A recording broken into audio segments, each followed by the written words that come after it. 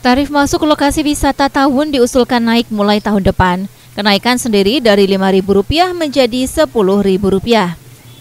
Kepala Dinas Pariwisata Pemuda dan Olahraga Ngawi, Wiwin Purwaningsih menjelaskan, usulan tersebut saat ini sudah masuk dalam ranperda tentang pajak daerah dan retribusi daerah.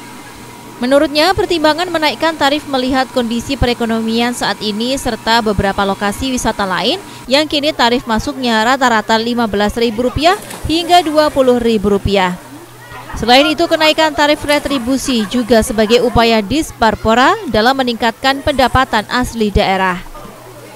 Diakuinya dengan kenaikan tarif tersebut, Pemkap Ngawi juga memiliki kewajiban meningkatkan fasilitas yang ada, Terlebih, tarif retribusi di lokasi wisata tahun sudah 12 tahun belum mengalami kenaikan.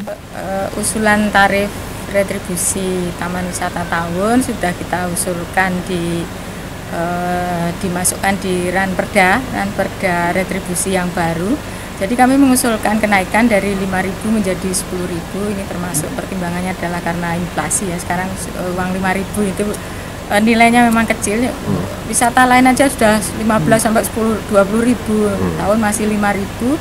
Uh, kemudian kita naikkan menjadi 10 ribu dengan harapan nanti uh, secara PAD kita meningkat, tapi juga kewajiban kami adalah meningkatkan fasilitas yang ada di tahun sehingga masyarakat tidak bertanya-tanya ini ada apa dari 5.000 ke 10.000 apa yang mereka dapatkan. Hmm. Kemudian untuk pemberlakuan e, tarif baru nanti selain menunggu e, persetujuan Perda itu sendiri juga e, kami rencananya akan kami berlakukan mulai tahun depan tahun anggaran 2024 karena tahun 2023 kita masih e, memberlakukan Perda yang lama dan juga target yang lama.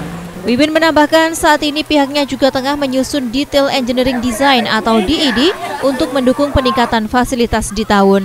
Mulai direncanakan perbaikan kolam renang serta memanfaatkan lahan kosong untuk pembuatan mini zoo. Itu Wahyu, JTV, Ngawi.